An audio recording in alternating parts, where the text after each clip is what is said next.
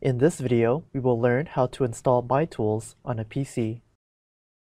Begin by going to the MyTools webpage at mytools.calstatela.edu.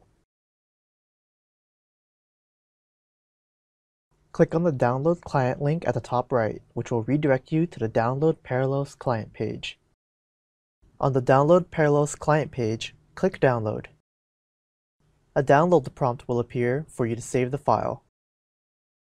Once the download is complete, click Run on the client downloader.exe. The Parallels client setup window will appear. Click Next to continue. Click the checkbox to agree to the terms. Then, click Next to proceed. At the next screen, leave the default selection and click Next to continue. Then, click Install to continue the installation. Click Finish to complete the installation. Once installation is complete, head back to mytools.calstatela.edu and log in with your MyCalStateLA identity account.